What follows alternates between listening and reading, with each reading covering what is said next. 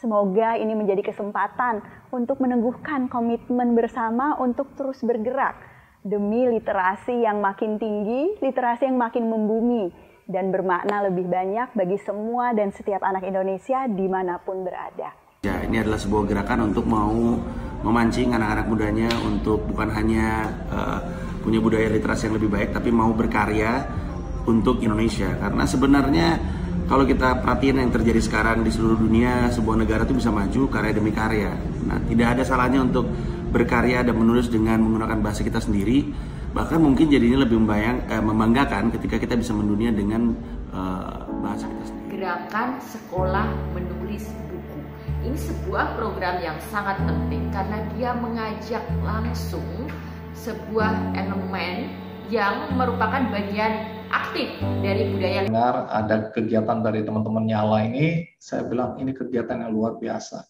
Jadi siapa pun yang terlibat dan siapa pun yang dilantik hari ini maupun teman-teman yang belum atau yang sudah dilantik, percayalah bahwa tidak semua orang punya kesempatan untuk berbuat baik seperti Anda-Anda di sini.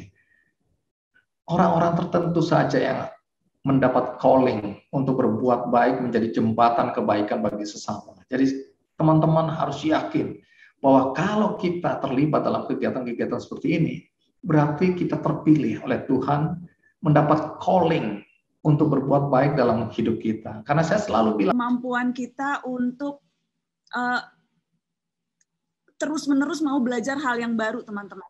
Karena sekali lagi dengan dunia yang berubah sedemikian cepat, kalau kita juga tidak menyesuaikan diri dengan perubahan itu, lewat selalu mau belajar, selalu mau bertemu orang yang baru, selalu mau rajin membaca buku, dan juga rajin mempertanyakan apa yang sudah kita baca, tidak menelan bulat-bulat itu saja informasi yang kita dapatkan, itulah yang akan membuat kita menjadi orang yang uh, adaptif dan siap uh, dengan berbagai perubahan dan uh, apa pun yang akan datang di kemudian hari. Program GSMB jujur sangat luar biasa apalagi jika ke depannya GSMP ini mampu melebarkan sayapnya, mampu terbang lebih tinggi untuk menjangkau daerah-daerah terpencil di Indonesia.